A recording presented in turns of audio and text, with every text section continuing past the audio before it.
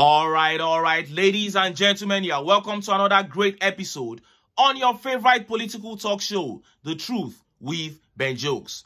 Now, one of the biggest problems of the economy of this country is the lack of constant power supply. This is because economies are driven by production and power is the major ingredient of production. And this is deliberate. The political class makes sure that we don't have constant power supply in this country because they know that if Nigeria has constant power supply, Nigerians will become more productive and poverty will then reduce. And since they weaponize poverty, since poverty is their weapon that they use to hold the people down and dominate them, anything that will alleviate poverty, they will work against. And that is why they are deliberately making sure that we remain in darkness. And Nigerians have been saying any region that is able to provide 24 hours power supply, people will relocate their businesses to that region. The region will boom economically. And just yesterday, as a result of the geometric power plant project in the southeast, the residents of Aba, Abia State, celebrated 48 hours uninterrupted power supply. And in less than those 48 hours, businesses have already concluded plans to move their headquarters to Abia State. Before I show you details of this information, let me quickly show you these disgusting updates. You know, I keep saying here that one of the major qualities a leader must possess is empathy because most of the decisions you are going to be taking will be affecting people that are far lower than you on the social cadre. And empathy is obviously lacking in this Tinubu administration. Since the removal of fuel subsidy, it has been hell for Nigerians. People have been struggling to feed, struggling to pay house rent, struggling to send their children to school, but these people don't care. The other day, Bayo Onanuga came out and said cost of living is cheaper in Nigeria than anywhere in Africa. So why are people complaining? And now, Tinubu himself has come out to mock and taunt Nigerian workers. Look at how the papers reported it. Nationwide strike NLC should wait until 2027 to change government, says Tinubu. On Thursday, Tinubu urged organized labor to wait until the 2027 election or make peace, saying it is unfair to call for strikes within nine months of his administration. Tinubu said this at the inauguration of the Red Line Rail in Lagos, reiterating his commitment to delivering good governance to Nigerians Mr. Tinubu said no matter how much they claimed their freedom and rights, calling strikes within nine months of an administration was unacceptable. If you want to participate in the electoral process, wait until 2027. If not, then make peace. You are not the only voice of Nigerians, Mr. Tinubu told NLC. Mr. Tinubu assured Nigerians that the country will be out of the woods with perseverance and hard work. His comments came days after the NLC staged a nationwide protest rally over the high cost of living in the country. It planned the protest for two days but suspended it after the first day.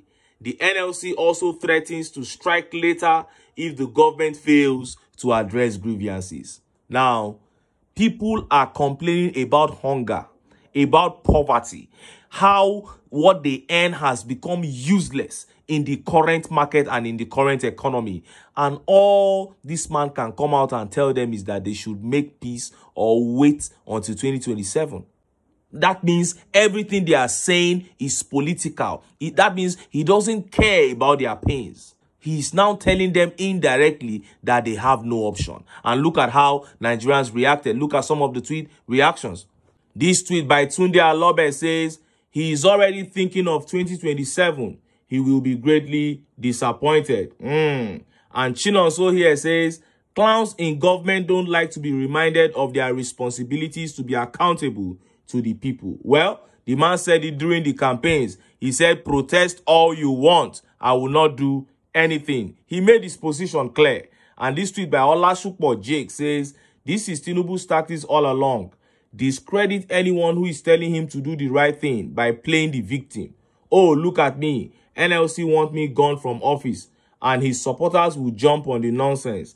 Ajaero needs to start doing the right thing. When you soil your hands, this is what happens. Ajaero's hands are not clean. Why is it now they are talking about back-to-back -back protests? The NLC chairman, Joe Ajaero's hands are not clean. Since they removed this fuel subsidy and the government has been lying to the people, making promises that they are not keeping, what has Joe Ajaero done? Has there been any strong, lengthy strike? No. All he does is to threaten. We are going on strike next week, Tuesday. And before you know it, they'll hold a roundtable meeting, probably give him envelopes, and he will suspend the strike. And that is why they are now being taken for a ride. And Lucas here says, we are in very deep shit. Every Nigerian should have a contingency plan. I'm telling you, my brother. And this tweet here by Lola says, dictator vibes. The union can protest one month after a leader is elected if they have a reason to.